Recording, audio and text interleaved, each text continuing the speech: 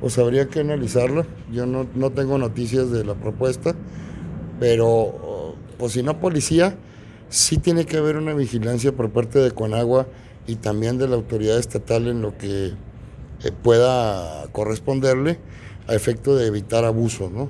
Como los que están ocurriendo ahorita en Nuevo León, que está denunciando el gobernador prácticamente un robo de agua indiscriminado. Ese es un fenómeno nacional y en Chihuahua yo creo que tenemos que poner especial atención eh, con las autoridades de Conagua, eh, Junta de Aguas, etc. Aquí se toman todos los días por parte de la Junta. A mí me han informado de que hay eh, robos, etcétera, de agua y se aplican sanciones, etcétera, todos los días. Es algo muy común en- por parte de la Junta. Y no solo en la capital, en muchas zonas. Y se imponen sanciones durísimas a quienes acaparan el agua o, utilizan el agua sin medidores, etcétera.